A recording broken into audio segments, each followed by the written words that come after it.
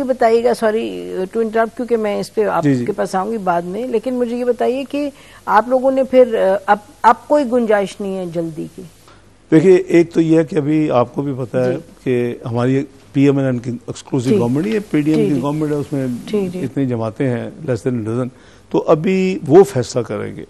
हम अब कोई अकेले फैसला हम कोई नहीं सब्जेक्ट उठाया भी है, भी है इसमें आपस में कोई डिस्कस हुआ है कभी के वो जब भी ये अभी धरने की बात हुई है तो यू नो दी लीड दो दिन तो आप लोगों की बड़ी major PDM leaders are in a very frankly aggressive mode वो कहते नहीं. उन्हें कहते हैं नहीं ये इस तरह नहीं है कि जो एक बंदा जो मर्ज़ी ब्लैकमेल कर दे तो फिर ये ये क्या तरीका हुआ?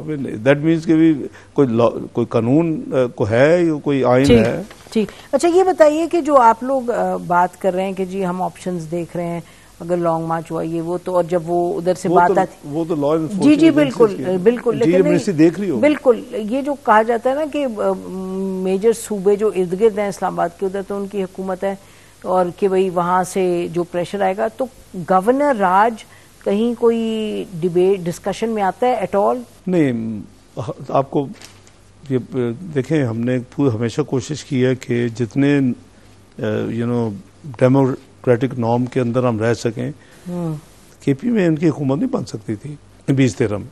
मौलाना साहब वो तो मालूम है कुछ कुछ हफ़्ते। नाराज़ रहे और आई थिंक ये मैग्नेनिमिटी थी मियाँ नवाज़ शरीफ साहब की और हमारी लीडरशिप की कि उन्होंने कहा कोई बात नहीं सिंगल लार्जेस्ट पार्टी इनको दें ताकि ये वहाँ करते हैं हमें क्या फ़र्क पड़ता है?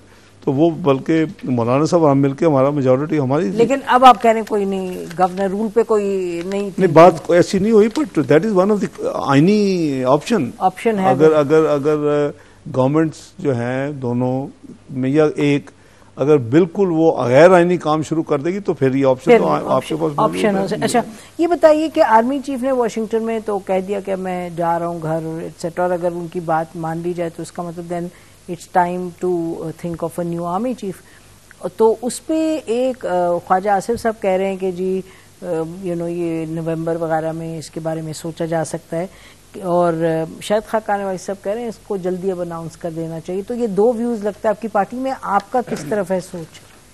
देखिए दोनों प्रेसिडेंट्स मौजूद हैं।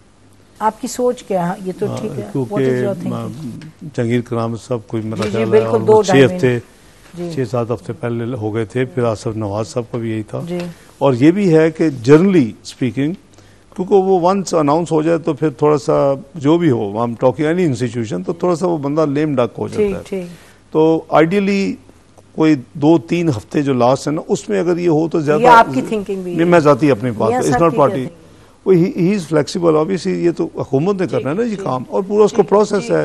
आप समरी आती है डोजियर आते हैं स्टडी करते हैं। दो तीन हफ़्ते पहले? अब मेरा ख्याल है कि बहुत ज़्यादा पहले जो है ना वो शायद वो ना वो ऐसी कोई ज़रूरत नहीं है। अच्छा